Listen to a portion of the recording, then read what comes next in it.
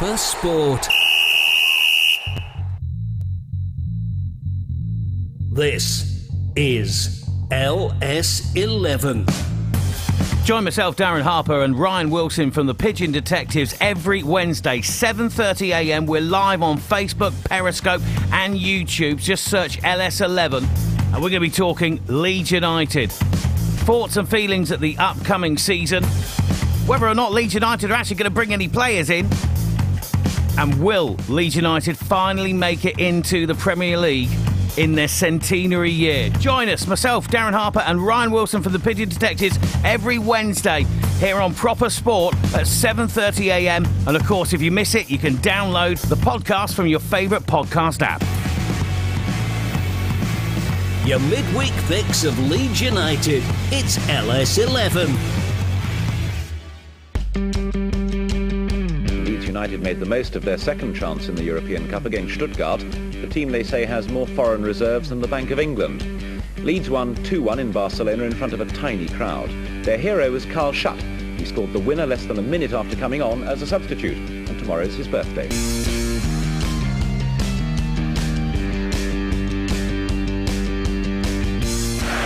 This is Saiz. Another. It through. Flag stays down and the ball is in. Mateusz Klich. Dream start for Leeds United and Marcelo Bielsa. That, my friends, is a sound of success. Don't want to get carried away, but we're definitely good up as champions. No, I, will turn it down a bit. I'll turn it down. Getting a bit excited. Uh, so, what better way to discuss the sound of success than with Leeds United Chief Executive, Mr. Angus Kinnear. Welcome to the show, Angus. Great to be here. Yeah, uh, we're very glad you're here as well. We were beginning to think you might not be coming. We've all been hanging out the window. so we'll get into the Stoke game and uh, we'll discuss all things Leeds United with Angus. Um, is obviously young Ben here. Hello, Hello, young Ben. How are you? I'm good. good. Uh, with his own microphone that he's just pointed out to us. Raggy's still here with his predictor yeah. section. And uh, old Ben's here. All right, old Ben. All right. How are you? Yeah, not bad. Good. So I can't think of a better place to start than Elland Road on Sunday, not Saturday, as I've repeatedly said over and over again that it was a Saturday game when it wasn't. How do we feel? Young Ben. I mean, yeah, a complete contrast into the way I walked out feeling the last game of last season. Um, walking in full of optimism, you know, there's literally no better feeling than walking into a packed out Elland Road. You know, it, it's it's the best feeling. And then when that first goal went in, all hell just broke loose in stands. Performance were absolutely brilliant, and you know I came out massively happy. It made made my weekend to be honest. Made this week looking forward to the Derby game now as well. Yeah, Angus, what what were the feeling in the camp before the game? Was it apprehension, nerves, or excitement? I think nervous excitement. Um, we uh, everyone worked so hard across the summer and we know it's only one it's only one match and there's there's you know there's a long season ahead of us. But um, we just wanted the team the team I thought felt the team had worked so hard that they deserved they deserved to get them fans on side from the first game. And I think from you know the day was just great. I think we broke you know broke a record in terms of the opening day attendance. We had a you know fantastic um, tribute to, to to Paul you know before the game and, and you know just which which I think everybody wanted to wanted to do. And uh, for me although the result was superb. The performance just was so different from what we'd seen at the back end of the last season, and I think you know, we felt slightly vindicated because I think that you know the, the core of the existing squad have had a bit of a hard time from the fan base, and we've always felt that there was something there. We we, we, we totally accept they need to be uh, it needed to be strengthened, and we think we've strengthened it. But you know, out of that starting eleven, I think only Barry, Barry was the only addition. We had a revitalised Klich in, in, in the midfield. Yeah but I've seldom seen a team, you know, change so dramatically across across a, a close season and come back with such a, with such vigor. So we were um, we're trying to keep our feet on the ground, but you know, we're all fans at the same time. So yeah. we had a we had a very nice evening. Afterwards. Yeah, I think the same was said for us because I mean we've obviously we've got a group that we discussed this about, and when um, starting eleven came out. There's a couple of eyebrows raised. I don't think any of us were massively surprised because we discussed the team sheet before, and we always felt that, you know, Pontus, uh, Bamford, and and possibly Harrison might not be just quite ready to start just yet after obviously joining the joining the squad quite late. Um, but I'll be honest, 15 minutes in, I was like, what, what's this? What were these? My son were sat there going, "Oh, is this Leeds, Dad? Are you sure? Are you sure? Are sure this is Leeds? Didn't they have gold it the was like a different year? world It was unbelievable. from last season's team, really. yeah, it was, yeah. And I guess that's that's testament to the club of bringing someone in like Marcelo Bielsa, who has obviously had that big impact on on what were last year average players, and then they're playing like well the beat the favourites, so comfortably as well. Yeah, Played him off the park. Oh, Massively. Yeah, absolutely. And for for Ryan Shawcross to come out in the press as he did and said we were caught by we were caught surprised by Leeds, and you think that's a strange comment to come from someone who's played a lot of games in the Championship, should know exactly what the Championship's about. They've got Gary Rowett there who's made his trade in the Championship. You think they'd fully expect what the Championship's all about, and to be honest, I think he just didn't want to turn around and say, "Look, we got battered by the better team." Mm, To be honest, and that's ultimately what is it that were. what the championship's about, though? The way we played. Well, Because I hope it is maybe maybe on. it was the way Wolves played last season, but we were brilliant on Yeah, Sunday. absolutely, yeah. absolutely brilliant. Uh, And I think um, a few people have obviously we've got a lot of questions about transfers, but a few people have mentioned already. Klich Mateusz Klich. I mean, obviously he had a bit of a tough year last year, found himself back out to to Holland, uh, and I think in the Dutch press before he came back, he mentioned that you know he had unfinished business, and I think going on Sunday's display, I, definitely agree. He has definitely got unfinished business. I mean, you know, fair play to him when he uh, when he went on on loan. You know, a lot of players are like, I'm glad I'm. You know, he hadn't worked out for him. He's clearly a talented player. I mean, he's a, he's a Polish international. You know, played at the highest the highest standard. But to his credit, when uh, when he left, the last thing he said to me was, "I'll be coming back, and you know, I'm going to come back and I'm going to prove you wrong." Me, but the, but the, but the club as a, as a whole, and uh, I think his performances in pre-season and uh, and you know the way he's applied himself um, and uh, you know he, he- started started the he started the season brilliantly. So I mean, I think that's when I look at what's it going to take to go up, or when we look at what's going to take. I think it's you need some things like that to happen. You need a player who you've perhaps written off to come Yeah. back and prove himself. You need you need Samu to to you know who wasn't the greatest in pre-season to show us that he can be the best attacking midfielder in the league. And I think if those type of things work for us, then we've got you know we could have a real chance. yeah, definitely. Got out to say on that young Ben about uh, Saiz. I need to just hold my hands up and apologise. Really, Yeah, I slated him all over pre-season. I slated him, and you know, he completely proved me wrong. But one of the best players on pitch by far. yeah, By yeah. far. We are Made- now. it just made everything happen. It just all came through him. Yeah, I think I put a tweet out after the game uh, about Klich and put a little hands emoji and say, I hold my hands up, I thought you were done at Leeds, but absolutely shows me what I know about football, to be honest. and, you know, proved us all wrong, so yeah, fair a bit of a shout out for Victor Orta as well, who's taken a lot of stick off a lot of people. And you transfer, you can bring someone in, and it might not work, but and uh, that's I guess in a way last year a lot of them didn't work, but a lot of them now have, have sort of going on on Sunday have proved that they can. They are good players, Yeah, definitely. but you get the and just need the right environment. And I think uh, going back to Victor as well, I watched the um, leading Leeds United bit that Sky did the other day, which was fantastic. And he even mentioned on there he had the opportunity to go back, but he still feels like he's got something to prove. Yeah. And I think that's when we see the best from Leeds. You know, kind of when we're backed into a corner a little bit. As fans, as a team, as a Mm. club, as a city, that's when you see the best of Leeds. I think. When No, I mean, v- Victor's ob- obsessed with making Leeds successful. I mean, if you spend any time with him, he's a he's he's a, you know in terms of football passion, there's there's few people to kind of beat him, and he was he was clearly, you know, we were all devastated by the way last season ended in, in terms of in terms of how it started. But you know, to be fair to Victor, he had a belief in in in the players that he that he brought in. And I think when you're operating at the, at the budgetary level we are, you're going to get a mixed bag. So if you if you look at what we picked up, you know, Samu and Alioski and uh, and Forshaw and and Tyler Roberts, who I think will be like a, you know, it's a cliche, but I think he'll be like a new signing as as, as well. yeah, There's some real quality in that, but you can't, you know, for every Samu you're going to get one or two that perhaps don't work don't work the same the same way. But um, but I think you know this year you've, you've seen there's been a there's been a change in a change in strategy, and we've gone for uh, you know we've gone for players who who should all be playing first team football. They've all come to play in the first team. There's no there's no development players in Yeah. it. So I think if we take you know the, the core of the existing squad and we and we get some of those players to, to perform at the level we think they're capable of, and then we blend that with you know someone like Patrick who uh, definitely has 20 goals in him at at, uh, at, at this level. Although he'll do well to get in the team based on how yeah, everything plays. yeah, definitely. Um, yeah, but that, but but you know, when we first met Marcel, that's what he wanted. He wants he wants two two people in every position who you really can't you know there's, there's not much Separate between. them, yeah. You can't really separate. them. There's massive competition, and people know that if they play badly, they're not going to be in the next in the next match. And he wants to be in a position where we're all comfortable that, you know, who do you want to start against um, against Derby? You know, Yeah. Bam- Bamford or Roofe.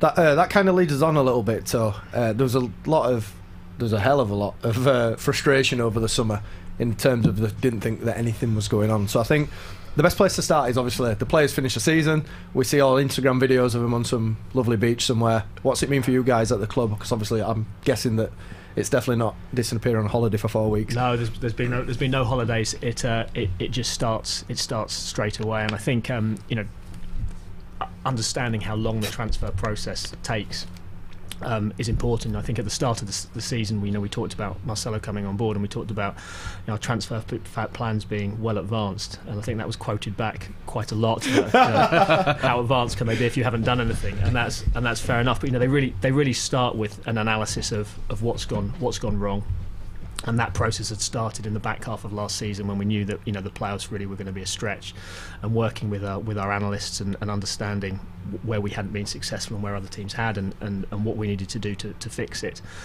And then there becomes a process of uh, of identifying the targets, and that starts with the with the type of player.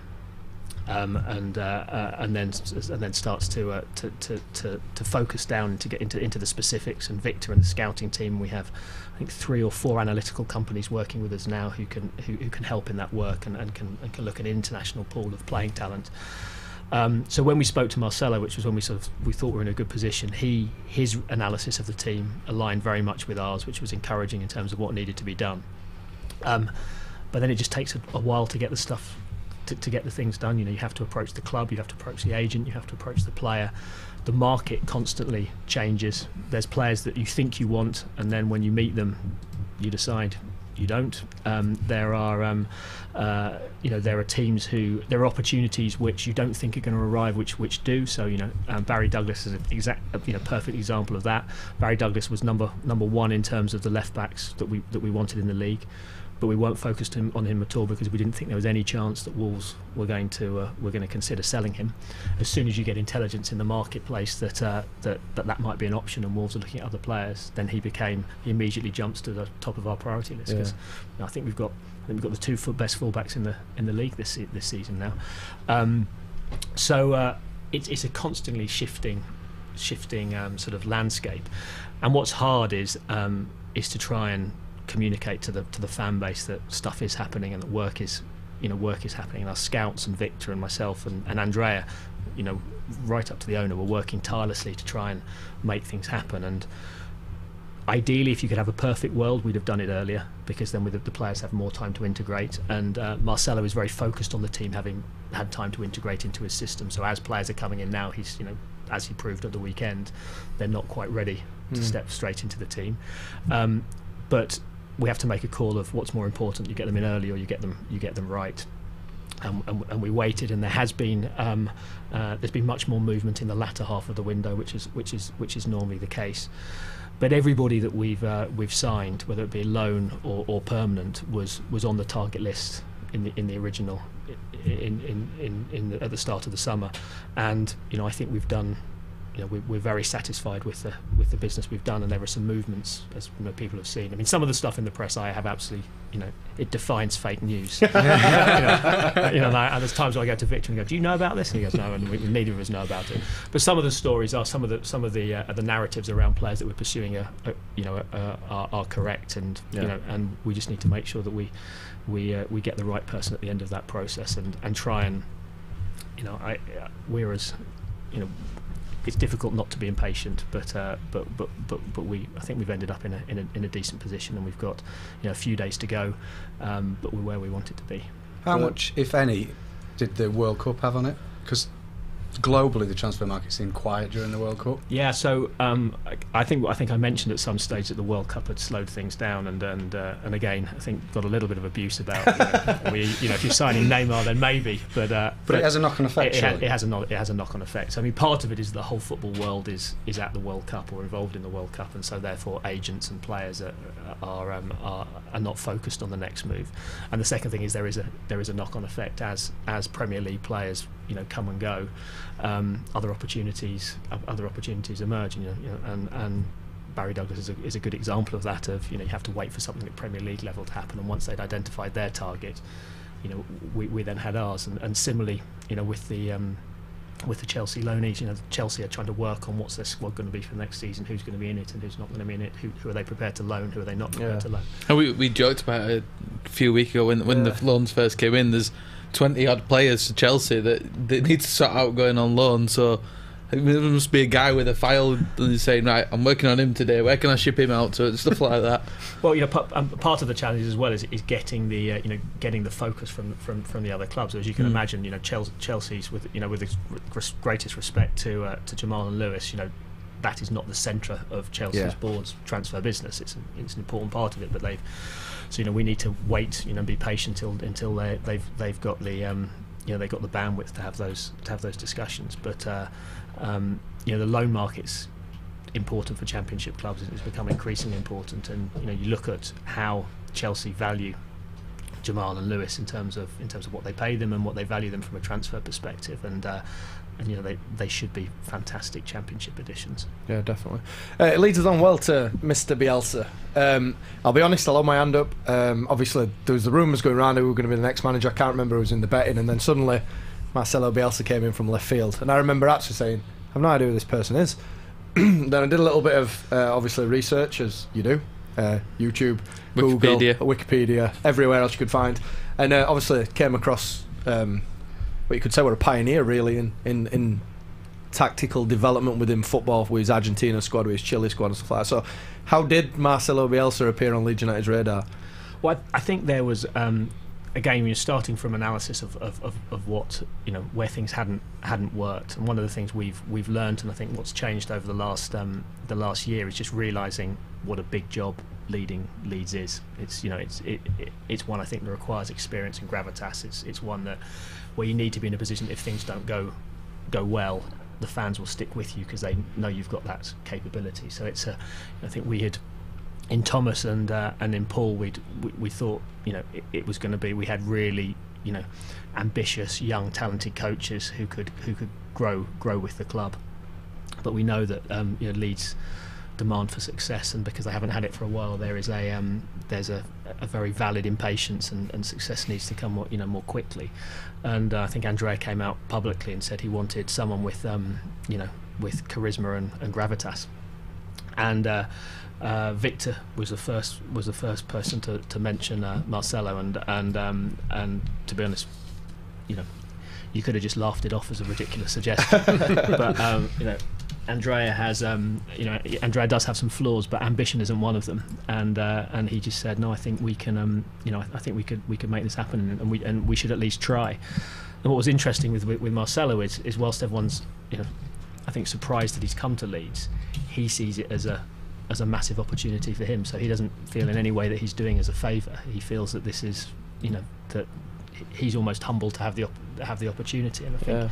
when you speak to people in, in, in world football, you know, whoever whoever gets it right here from a managerial perspective is just going to be an absolute hero. And I think he got that. Mhm. And uh, and I think it was reinforced to him on um, on uh, on uh, uh, Sunday because because the atmosphere was it was the it was the cauldron that everybody wants Elland Road to be and uh, and you know he's a he's a man who's passionate about football and loves football and you just get it when you're at Elland Road I think Yeah, I think I saw something in the press this week, maybe last week, talking about it's not about money for him, it's about passion and feeling the feel, sort of feeling the emotion. I think he said about around the club and you know what it, what it means to everybody else.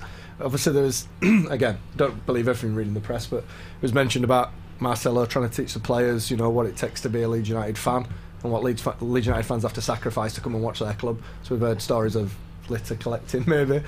well I think I think he's he wants to sort of keep what happens at the training ground Yeah, uh, of course, pri- yeah. private but I think what what he what he definitely you know he is about he is about understanding or getting the players to understand what a privileged position they're in. I mean, you know, uh, an amazing privilege to earn your money playing a sport you love, and even more so to play for such a such a great club. So I think, um, uh, you know, uh, whilst I was surprised that it was it sort of manifested itself so quickly, um, I think he's been drilling into the players, you know, quite what it's going to take to represent the club, and I think that was that was demonstrated just brilliantly by by every one of them. And and I mean, it was we were trying we were trying to just you know we were having a discussion whether we could find a bad performance in that game, and I don't. We, we talked I about don't it think we could. could. before. Could. I don't think you could. I think um, we were talking before you came, and I think we were a few players' names were chirping up, and then somebody said there weren't anybody who weren't you know excellent the entire game through. I mean, I'll be honest, when the game started, I was a little bit concerned with Afobe's height next to Berardi, for example. He Yeah. absolutely marshalled him the entire game, um, and you know, and, and frustrated him. And even when they brought Crouch on, I think you said earlier, Ben, that he didn't really cause us a massive amount of problems. Where sometimes he can just by his sheer physical attributes of being such a tall bloke. But so, yeah, absolute credit to him. So- Crouch is always going to win win the ball with his height, but then they had Bojan running around him and we shut him off, and so that the the key thing for me, uh, the way we sort of dealt with sort of the second ball and second phases of stuff that we were, and the fitness that sort of allowed us to do that, Yeah. and Well, I, I definitely Yeah. think you know Marcelo is he is um, he's holistic in his management style. So it's you know fitness is important, nutrition is important, mentality is important. The you know the atmosphere at the, at the training ground. I, I think we talked about it before, but you know when we in the first interview before we or second interview before we'd even even i- offered him the job, he had drawn up plans for the training ground in terms of how it had to change, and and all of it was around his football philosophy of wanting the players to spend longer there and to spend more time, you know, more time together there. So I think you know those things are sort of team team spirit and taking personal responsibility and being confident. And I think last season there was there was an element of uh, of you know from a I think our mental, mentality was fragile in parts. You know, when things didn't go wrong for us, we didn't feel like we were we were going to be able to we were going to be able to recover. And I'm not, you know, we don't, we don't know whether Marcelo's got all the answers yet, but it's, Yeah. it's certainly part of the plan. I, I, yeah, I dare say it's been a criticism of definitely us a lot over over the years, really, that you know some of the players are detached away from the fan base a little bit, detached away from the club in general, as in you know what a. I know if there's any non-Leeds fans listening, I'll be in for some pelters, but what a massive, massive club this is, and what it generally means to, to, to its to its fans and to the people who are you know in and around it.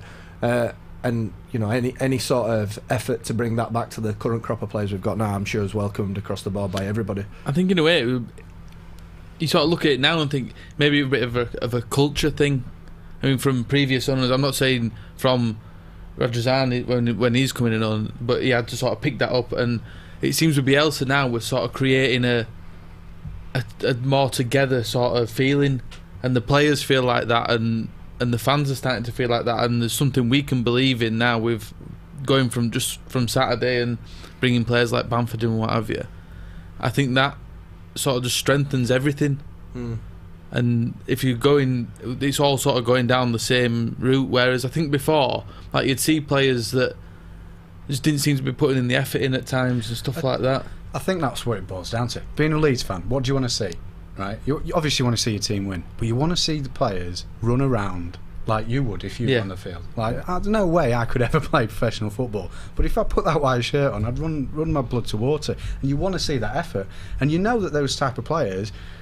They've got something, so if they do that, they'll be rewarded with that. And I know it, it, it, it's a it's a long season, and everything like that. But we saw that on Sunday. We saw eleven players and all the subs who came on who just worked really, really hard. And that's the bare minimum. I know it should always be the bare minimum, but that's what you'll get from Leeds. Leeds fans won't ever betray you if you put in the effort, hundred percent Let, us look at some cult heroes of the past. Yeah. Paddy, Paddy Kisnorbo, David Prutton, Andy uh, Hughes. Andy Hughes. Fairly limited footballers. I don't, you know, no disrespect to any of them, a lot better than I can do. But they, they had that in spades. That that, that aggression. That you know, they, they, they look they look like they care. If they didn't, they were very good at hiding it. Um, and yeah, and that's what Leeds want. I mean, um, Paddy Kisnorbo famously. Uh, decided not to have plastic surgery because he'd missed some games for Leeds, and the plastic surgery on his head wasn't the priority at the time. Playing for Leeds was, and that just endears you to fans immediately. You know, when we when we hear you know some of the stuff that's in the press that obviously remains between um, Marcelo and his and his playing staff and the rest of the staff at Thorpe Arch, it, it already begins to endear him to the fans already. That you know, it appears to be that Leeds United are at the core of. Of everything around it. I mean, Mar- Marcelo came to our. We have a, uh, a staff forum where, where the whole club come together, which which was an idea Andrea had, and apparently it hadn't happened in, in sort of the last thirty years. No member of staff could remember that everybody came together, players, youth team, you know, just to just to just to sort of say what are we what are we trying to achieve this season. And uh, Marcelo, uh, you know, did a short speech which he which he delivered in uh, in in English, and interesting, you know, the people he thanked were, you know, the groundsman, the gardener, the, the tea lady, the people who run the canteen, the people who clean Thorpe Arch.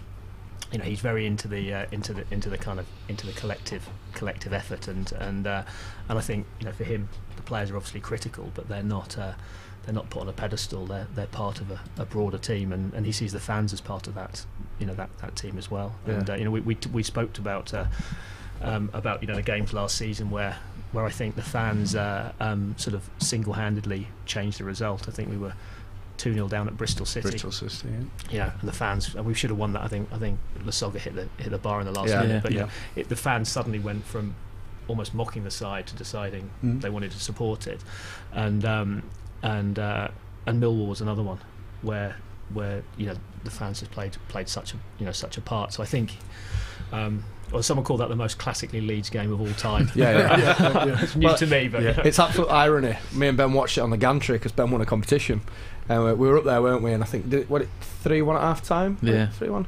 And uh, one of the Millwall members of staff just decided to latch on to me, and he came over and he was singing the praises of Steve Morison, and I was getting quite irritated by him because we were we were pretty awful first half. And I remember saying to him, "It wouldn't surprise me if this finished four apiece." Yeah. And then second half for 20 minutes was like, you know, t- typical typical Leeds United. It was like Bristol Rovers all over again, where we were just charging forward. And Yeah. I've never heard sound like that to be honest. From Mm. sitting in, uh, I've sat all over Elland Road, but from sitting in the um, on the gantry, it was just it was just something else. It was just absolutely something else. So yeah, uh, the fans play a big part, obviously. Um, moving on slightly then. So uh, air miles, did we count them over the summer? It, it's a really long flight, I have to say. Um, but it, but it's, it's worth. it. I mean, it's one of the things which uh, which um, I mean makes the job great when you're getting a chance to go and have a have a you know day two day meeting with you know one of the one of the greatest uh, greatest coaches, um, and uh, it was it. It was difficult to remember that we had to make a decision at the at, at, you know at the end of it because uh, it was so uh, you know it was it was so kind of intoxicating. He was so so focused and so uh, and so driven by the, the opportunity and, and the detail and his understanding of the of the games. You know, he had um, pages and pages of notes. You know, watched every every single game. He knew the players by their numbers. Um, so uh, you know, I had to had to quickly brush up my knowledge on what everyone played last year because he was talking about nine and fourteen and how they would and, and how they would switch. And and uh, I know it was uh, you know the, the, the meeting sort of got leaked to the press and it took us a little bit of a while to to uh, to, to, to close the deal and to and to get the contract done, and um, that was really caused by the fact we couldn't get him to focus on the contact because every time on the contract because every time we spoke to him he wanted to speak about the team and the plans and the transfers and the training ground.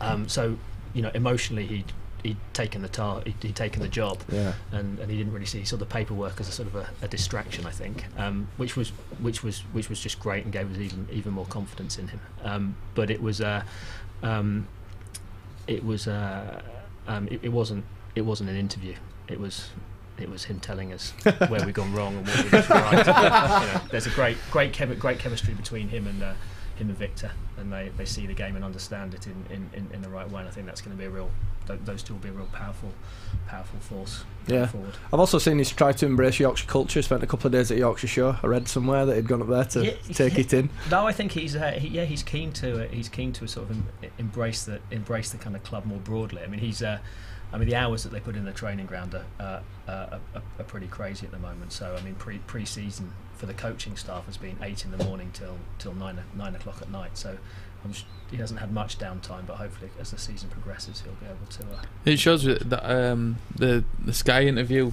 where you could see he wasn't comfortable with English, but at least he just tried it, and to, I think that shows a lot as well that he's trying to embrace us as well and, and sort of be with us and that that's everything as we just discussed. Uh, that's everything for a Leeds fan. Definitely, yeah. Uh, just to recap a few bits on um, on Facebook before it runs away with us, because it will do. A few questions about LUTV. Is there some plans to develop that for particularly overseas um, overseas fans and stuff like that? Yeah, so LUTV will, will will will continue to continue to grow. So we've just launched our uh, our YouTube YouTube channel, um, which is targeted at people who are younger, perhaps young Ben maybe, but for the rest of us, He's only 12, We're, we're not we're not, we're not target audience. Um, we will. Um, We'll be streaming the games again live to the international audience, and actually this this year we have the opportunity to stream uh, some midweek matches which aren't on TV to a domestic audience as well, so you'll be able to see them in see them in the UK. So yeah, so the, so the media channel will will, uh, will will continue to grow.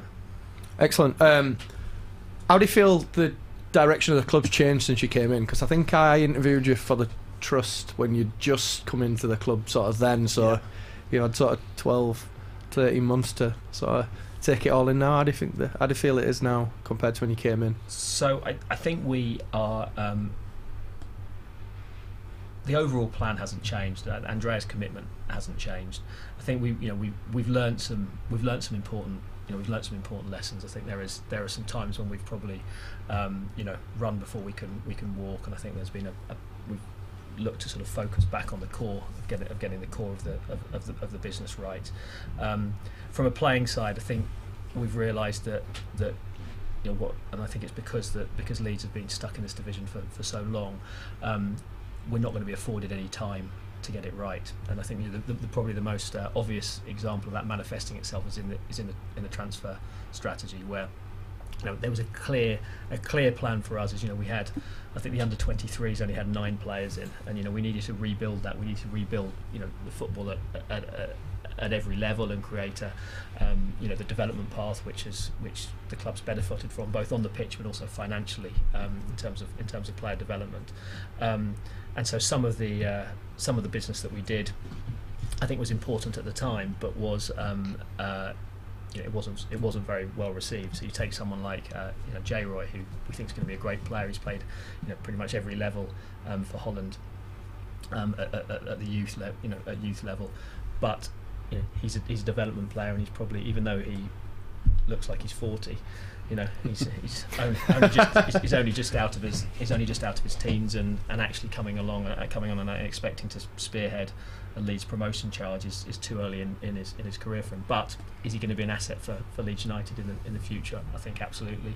You know, there's people that we've um, that you know sort of got gone on, uh, you know perhaps uh, overlooked to an extent, like someone like Ryan Edmondson, who's a local boy, massive you know ma- massive massive Leeds fan. Um, you know I think he's going to be a fantastic you know fantastic talent. Not somebody that people are going to get excited about, who's going to contribute probably massively this season. Although I think we'll we, we'll see more of him. Um, so I think we've we've sort of had to accelerate the plan, and, and this season you know we've brought. I think the clear difference is we've brought in more of the finished product. You know more of the finished product. You know. Um, so rather than the Caleb Ekuban, who I think again will be a great player, and I think he's got great movement and and uh, uh, and, and great pace, but the perhaps isn't the finished product, product from a finishing perspective. Um, and then you know to, to somebody like uh, Patrick, who you know I think in the right team and in the, in the right construct is, is somebody who can get you 20 goals. So there's been a um, I think there's been a a clear understanding that we just need to you know we, we need to we need to purchase the finished article and people who are going, are going to contribute and and and and the, and the development area of the club whilst the academy still do a fantastic job you know um, the purchase of younger players isn't perhaps what we need at the moment Yeah. Leeds is on quite well. Um, we're getting absolutely inundated with are we going to sign any more players before is it Thursday's deadline? Five o'clock Thursday?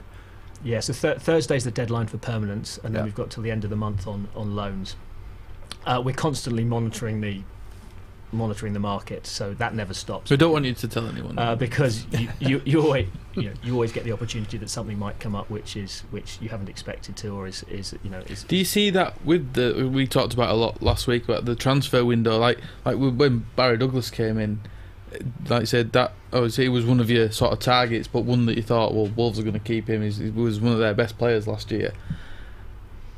If you'd have gone out and bought a left back in June, and then you're sort of missing out on chances that come could come across now because other teams, a player might come available because he's moved in Spain or something, and then they can go get this player. And, Yeah. and I think a lot of frustration frustration is that we've not brought anyone in, but at the end of the day, the club's looking to what the best option is, and if there's something there that can that, that's better, well that that's that's why the market that's why the market needs to um, you know that's why the market tends to happen at the you know to the back Mm. end of the window because everybody is weighing up their their options and particularly for us one of the uh, you know the type of players we're we're going for now are players who you know quite rightly because we're buying them for, for longer term could be Premier League players Mm. so they're naturally looking at Premier League opportunities as well as top level championship opportunities. And you need to them to have come to a decision of where they're going to play for that for, for that to happen. So there are advantages of moving early in terms of getting the players integrated more quickly, but actually letting the market play out to to to a uh, you know to the end gives you an opportunity to evaluate Yeah. you know all options. And there's not many. There's not. When I look at what happened early in the market, there's not much that we felt we'd we kind of missed out on. Hmm. So we were very aware of the Grabban situation. That was a conscious decision not to go for that because we had targets we, we, we wanted ahead of that. But it wasn't like we felt we were we were missing players and, Mm. and the market was running away with us. Yeah, definitely. Obviously, um, slightly hotter topic. We've seen Ronnie Vieira display to Italy this week, and I think the owner very candidly, uh, in an interview with Phil mentioned that you know we're at a point where still as a club we still need to balance the books a little bit. You know, we're not at a point where we can splash in massive amount of cash around. Is that obvious? Was that obviously all the plan, sort of all along a little bit? To, I th- think we, the plan is always to, to manage the club, you know, responsibly. And I think there are um, there are a number of clubs at the moment in, in the championship who are who are under embargo, and there are a number of clubs who are you know experiencing or going to experience you know some fairly significant financial difficulties. Um, Andrea is very committed to, to put the best product on the pitch that we that we possibly can, um, and the balance is is is is you know pushing that and, and, and pushing you know the investment to a, to a level where we really can compete and, and we think we can this this season, but not being irresponsible. And the, the challenge with uh, uh, with with Vieira is is when you have a player who is uh, you know who is worth seven million pounds and is um, um, is not first choice in the in the team, or you know he's perhaps not even you know not even second choice in the team, although an important squad player and somebody that Marcelo would want have wanted to keep in the squad. Um, you have to uh, you have to make the decision which is right for the for the for, for the long term of the club, and also to an extent for the for the player because Ronaldo's a, a player who needs to be he needs to be playing. You know, he you know it's not the right time in his career to be um, on the bench for a uh, for a championship side. So uh, you know, uh, Ronnie you know handled himself uh, you know impeccably, um, but um, and and it's it's it's it's a tough it's a tough decision. But I think uh, I think in terms of balancing the squad appropriately, it's it's right. And and Marcelo is very uh, very very keen on the fact that you know he wants to be able to give all players you know playing time. He says having players in the squad who aren't going to play, you know, isn't isn't healthy for the for the for, for the for the dynamic of the squad. I guess a responsibility for the club as well that if, like you say, if a Vieira ain't going to play, think he came out and said after the match about um, Japanese lad Ideguchi that he's probably not going to be playing and and whatever sort of the future is for his for their game, the club needs to be responsible and look at that as well. And and if if it involves moving them on or or putting them in, in whichever situation it, it needs to be, then that's what they have to do. And at the end of the day, it's just business, really, isn't it? Yeah, I mean, we, you know, we, we have a responsibility for the for the, for the player. So we think we think Ideguchi is a, is a is a great emerging emerging talent. But you know, ultimately, it's Marcelo's it's Marcelo's call, and uh, and you know, he he knows that um, is a player who needs to be needs to be getting game time and came here for game time. So there is there is a responsibility for us to ensure that we're not you know we're not blocking the development of his career. I think that leads. There's quite a few people here. Uh, an away shirt. I think there's a few people concerned that we're going to play Derby in our pants uh, on, on the next game. So, is there any chance you could give us an update uh, on an away shirt? Yes, there is there is a, an exclusive reveal. There will be an away shirt. Get in! uh, and uh, it will be uh, it will be uh, um, uh, launched tomorrow, um, and it will be available for pre-order tomorrow online, and uh, we will be playing it in it uh, away at Derby. So, Brilliant. uh, So there you go, an exclusive. So all them 500 questions about an away shirt. There's your answer tomorrow. So uh, I'll try and get a colour out of him later. um, Stuart Barnett has uh, has mentioned uh, the club shop renovations, and we've seen quite a bit of renovations over the time that Andre has been in charge at Elland Road, and it's been modernised. Definitely, we start to see obviously the Bremner Square, which which I think looks great. You know. Um, are we going to see more development of Elland Road over the years, or over the year, or Yeah, and the the um, the challenge with with with with Elland Road, and again, this is this is uh, goes back to the, the, the sort of the, strategy you were talking about earlier. Is is ultimately you want as much of the uh, of the club revenue put back onto the pitch as you as you possibly can. You know that that's ultimately what's going to make the, the biggest difference. Um, but at the same time. You know the, the the fabric of Elland Road, which is a you know such a fantastic stadium, was was tired, and so we've uh, we've uh, generous way of, of uh, describing it. So we've you know we've gone on a process of of, of, of gradually improving it, and we've you know improved um, uh, you know the, the shop um, this this year, and and the shop. I mean, ultimately, it's about um, obviously it's an important source of revenue, but it's ultimately it's about supporter experience, and we knew that a lot of supporters just wrote off the shop on a match day because it was such an unpleasant place to come in terms of its layout and the number of tills.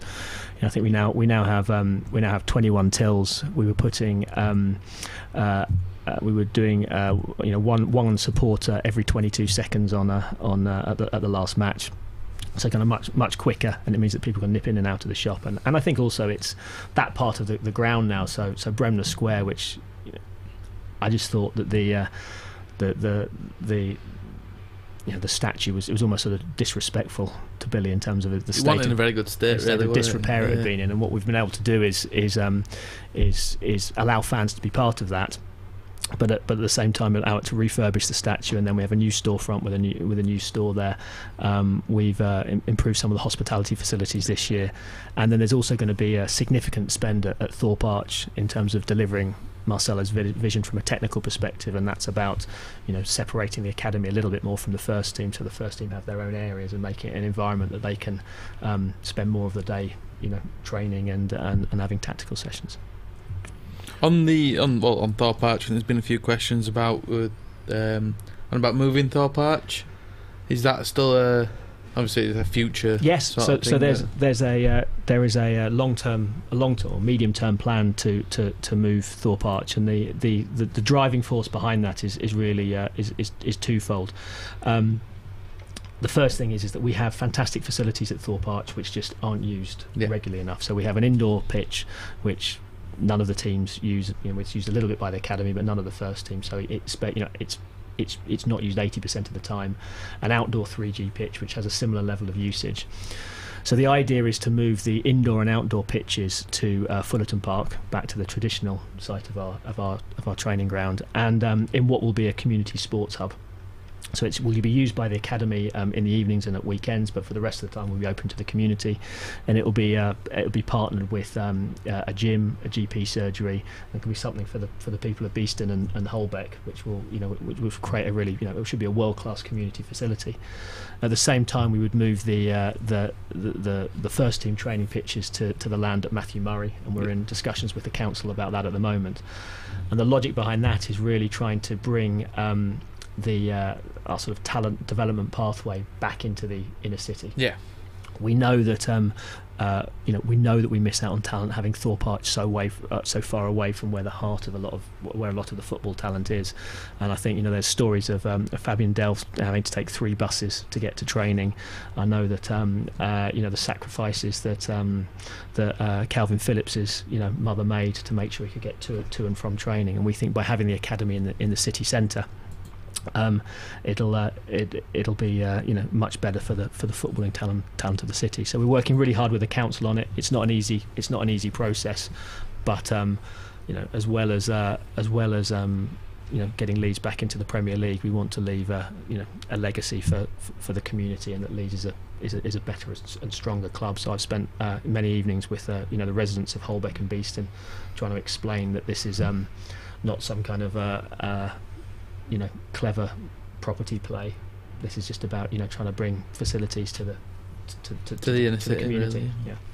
With the uh, shop renovation, we've seen the obviously the front bit with the big badge in the middle. Is there any plans to still change the crest? Or My, fav- my favourite topic. Thought it Waited might be. so long, we, we've so- left it deliberately to warm you up a little Um, bit and then chuck it in there. So I, I mean, I think we're, we're focused on, on other on other areas at, at, at the moment. So I think we um, uh, there is always I think there's a, a long term ambition that, that the crest for which was which was part of the plan originally was that the uh, the Leeds United crest has the words Leeds United on it, you know, in, in a prominent in a prominent way. But it's not a it's not a pressing. It's Yeah. not a pressing concern. I think we're going to do some great, great stuff both with uh, with the kits and uh, and in the broader community around the centenary season. And we're working with some fan groups now as to what those plans might might be. So we thought, you know, let's we'll just focus on making the centenary season great. Um, uh, and and you know, I'm sure the crest will, will come up again at some point in the future. And you'll look forward to that day. Already excited. Uh, a couple more comments on Facebook and Periscope. Uh, ben Schofield, is there any chance of opening shops in the surrounding areas such as Wakefield, etc.? It's a good question. It's a good question. So. Um, uh, we've we've started that um, we've started that process, and it's it's definitely part of the plan. So we already have a uh, we now I think three or four weeks old. We have a, a shop at Leeds Bradford Airport, so people can pick up their shirts before they uh, go off on their summer holidays. And uh, we now, as well as a store in the Merrion, we now have a store in in Trinity. So we're expanding, expanding the reach, and I think, um, and I know the retail team are already looking at, uh, at branches more broadly across across Yorkshire as part of the owning Yorkshire plan. Yeah, obviously we're going to take over Yorkshire, without a doubt. Um, other comments on um, Facebook. A lot of talk about FFP. So where are we as a club in terms of FFP? Because we've seen, I think Sheffield Wednesday had a, a f- uh, sort Fans of owners, forum and last it, night, it, yeah. it didn't go particularly well. I've got Yeah. quite a few Wednesday fan friends. So I mean that's that's part of you know when Andrea talks about running the club, running the club sustainably. There's partly ensuring that it you know it has it has the cash to operate, and partly ensuring that we stay within the the EFL the EFL rules. Um, and as you look to increase the investment, um, which we have done. Um, uh, not only in signings, but actually, you know, I mean, in, in terms of wage bill growth as well, and that's that's that's the biggest element of our of our cost structure. And what people sometimes don't realise in terms of wage bill growth, it's not just the players that you that you bring in, but it's the existing players. You need to improve their contracts to ensure that they are they are competitive. And, and I think you know when you saw the team which came um, which came seventh under Gary Monk, you know they weren't paid like a team that was going to come seventh, and so one of the first things we had to do when we came in was was change and improve those contracts to, to keep those players. Otherwise, they were going to be otherwise they're going to be picked off by Yeah. by, by bigger clubs. So um, uh, so FFP, I think in our league it's called uh, Profit and Sustainability. That's P&S is the official title, and we're across it, and we're we're not in any not in any danger of uh, not in any danger of, of, of breaching it. But it's something we are we are. Um, we have to manage day in day out, and, and at the back of our mind when we make all the decisions, it's it's to ensure that we're not subject to league sanctions. Yeah, definitely. Um, couple more on here, just so that I can't get accused of not asking you questions that the fans want to get. Uh, uh, family day has come up a couple of times. A few people wanting to know if there's a family day planned, as one was previously mentioned. There is one planned, but I don't know when it is. All right, So okay. Let me let me find out. But there is. Yeah, we, we, we we discussed that, and uh, and it was something we definitely wanted to do. So I just need to need to confirm the date. Cool. A few other bits. Um, do you think we are defensively lacking currently? Are, we- are we, do we look thin on the ground? I suppose that should really be a question for Marcelo because obviously he's picking the team. Yeah, it, it, it, it is. Although you know, I think defensively we you know, that's only one game. Defensively we were we were I think very strong, and and you know, we had Pontus on the bench, who's not a, not a not a bad player to, to bring on. Yeah. Um, we, I mean, we constantly look at. You know, we, we do look at strength and depth. You know, we know it's a long season. We look at the intensity. If that if we're going to play at that intent, intent level of intensity, we're going to need to be able to, you know, we're going to need to rotate the squad. So I think, um, and back to the question about what more business will be done in in the window. I think it's more likely to be a loan than it is a is a permanent purchase. And uh, and Marcelo is is currently um, spending a lot of time with with with, with Victor and, and Andrea and I and discussing where is where are the gaps, where's the strength, where can he where can he move people, you know, across the across the back line. Um, and uh, if we're going to if we're going to strengthen with one or, or, or, or two new faces before the end of August, what are where are the positions where you get most uh, uh, most impact for your money? Good. So that'll We've appease. got, um, that'll appease about Liam Cooper that's turned 270 into people. Paolo Maldini now, isn't it? yeah. so Uh, we're all right. yeah. In, in credit to Liam Cooper, he's had a fair bit of stick. I think it's a close run rivalry between him and Kalvin Phillips for the general Leeds United scapegoat of most Yeah. games. And uh, to be fair, um, They were both brilliant. they were both fantastic at the weekend, and like, long may it continue. I think if we can have 45 more of them, uh, that'd be great. Season, Yeah. Season's done, win it. Yeah. Order, Yeah, the, yeah. order the open top bus as we speak. Uh, yeah, anyway, we'll give Angus a little bit of a rest because it feels like we've just been bombarding him with questions for a little bit. And we're going to push on to our favourite segment, Raggy's Predictor. So, Raggy, how did we do on the Predictor? So, what we do, Angus, every week is. Uh, Raggy runs a predictor and we guess the scores. You might be a little bit disappointed with our guesses from last week. I think you reflect. Well, I've, I've never been more delighted to get it wrong for a start. Uh, I think it did reflect, other than uh, Ben, who did predict Leeds to go up as champions anyway. Um, Mr. Optimism. We all got it wrong. He also Um, predicted England to win World Cup as well. I'll just Yeah, jump exactly. Hey, won't Mr. Optimistic, Mr. Optimistic. But yeah, just to run it over, both myself and you, uh, Gaz, we went what uh, two one We did. defeats. We did. Which, like I say, delighted that we got that. I'm sorry. Call yourself Leeds Sorry, fans. So no points for us. Uh, old Ben, you went uh, two two, which Yeah. again, you know, oh dear. Uh, young Ben two one. Liam Cooper shafted you. But you're happy. You're Yeah, happy. exactly. So you pick up one point. It's got three points if you get the right result, and just one point for the uh, sorry right, correct score. One point for the right result. So it's one nil nil nil. First league game. So we Good need to move on uh, to the next round, which will be on Saturday, five thirty kickoff at Pride Park, Derby versus Leeds. So we'll start with um, you, Ben. 2 0 Leeds. I knew that one coming. It's, it's all going up now. Do we get a guest? Oh, no, I do we get a guest slot as well? Does a guest get to? Oh yeah, definitely. I watched Derby on, against Reading on Friday night. Friday night. And how Reading didn't put them to bed within first half, I do not know. Well, that that's another debate, and it's written on my list for later, but we'll do it now. Um, Derby. There's a lot of said about Derby, uh, and They've renamed Frank Lampard's Derby. Frank Lampard's You to- Derby. Sorry, yeah, I've got to say that now. At the Uh, now. And obviously, uh, the, they got that guy Jozefzoon who cost Victor Orta his mobile phone, if you're led to believe what you're led to believe, um, after he screwed us. Uh, but they've not strengthened. They've not strengthened the defence in any way, shape, or form. Uh, and I, I honestly, so with I- our lot running around like they do and yeah, exactly. causing And- havoc, And Gaffer on his bucket. We'll have I to. might change that to 4 0. That's where I'm going. Anyway, sorry, I'll back, stick back, two. back to stick two. predictor. Right, Back to so Raggers 2-0. predictor. Sorry, Right, you can go next then, Gaz. So three one again.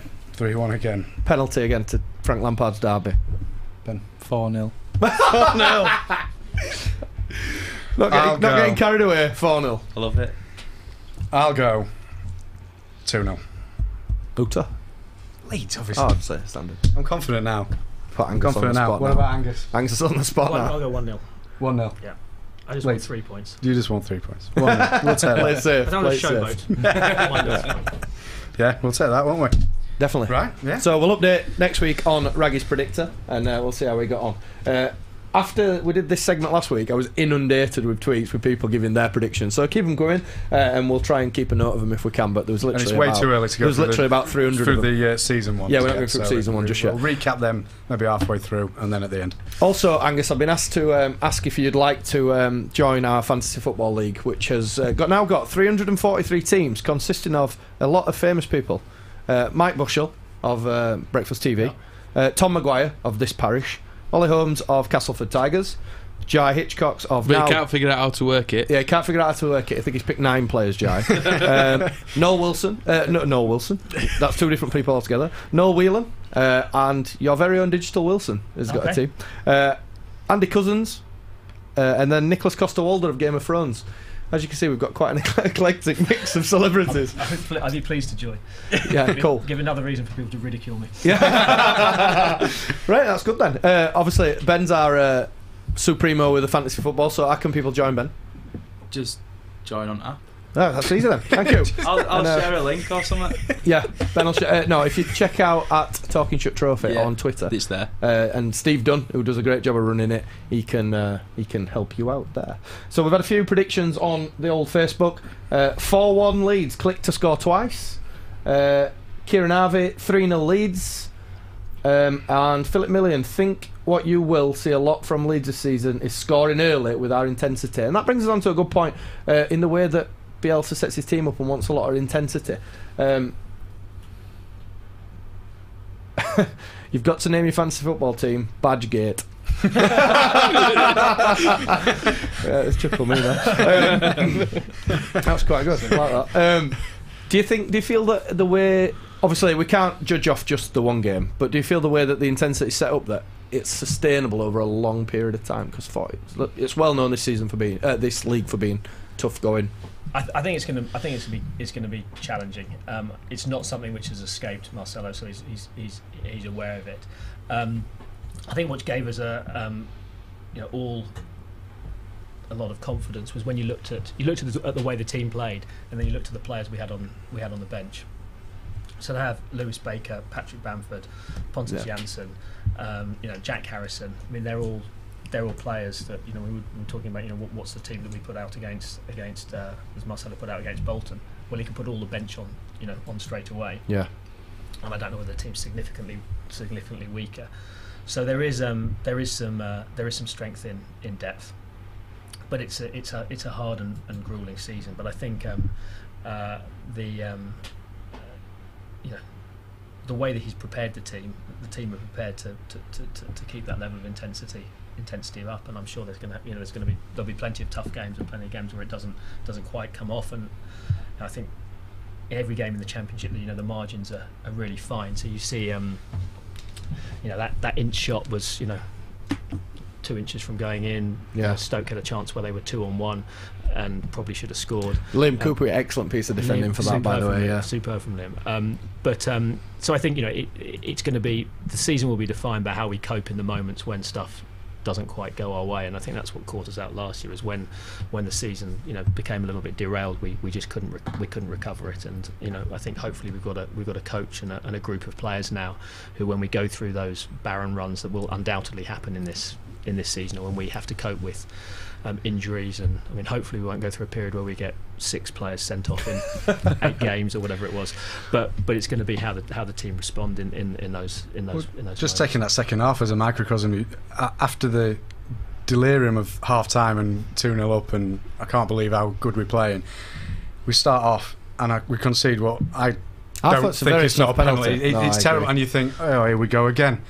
You know, and what did we do? Just went right up the other end. Perfect delivery. Cooper nods it in, and we threw, you know, restored it. And then the rest of the game is just a breeze. And like you say, you think, here we go again. But now, just recovered straight away, and that's great. Barry Douglas was worth his transfer fee just for that ball in. Yeah. just for that header. It's Yeah. just we were, I talked about it earlier before we came on air uh, with Dom, who's who's in the back there, and uh, we've been lacking that for a long time. That that ball's just a horrible delivery where defender don't know what he's going to do with it, and it's it, keeper don't know if it's come, do I stay? It's got Yeah. that much pace on it. It's a cracking ball. A bit of a joke like, around me where we sit and um, a, a typical Leeds corner. You did first man and then that were it.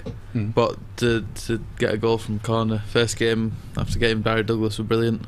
Yeah, uh, a couple more questions. Um, Leeds United Museum. That was something that's been mentioned in the past. Is that still planning the pipeline? Yeah, or- it's something we'd like to do around the around the cen- the centenary. Um, to make them work, we really need to, to make the uh, the um, you know create a, an, you know probably an improved stadium tour and give people the opportunity to come and see the stadium and then go to the mu- uh, go to a museum. But we're we're um, uh, we're uh, um, we've already been collecting the memorabilia. We've catalogued some of the memorabilia that we we already have. So I think it's I think it's something that we will will ultimately do. Cool. Uh, and just to set, uh, settle an in-show debate, was there a coach in the East Stand on the game on Sunday? If you want. I'm, uh, right, we'll take that from what it was. If you put you in the do do, Well, do on, yeah, do just yeah, a fan. He was just a fan who was very fan. passionate. Exactly passionate fan in full kit. Yeah, we'll take that. uh, and final question from me. I apologise for anybody we've not managed to read them out, but literally we've just been inundated. Uh, Benjamin Button, no, sorry, Benjamin Britton.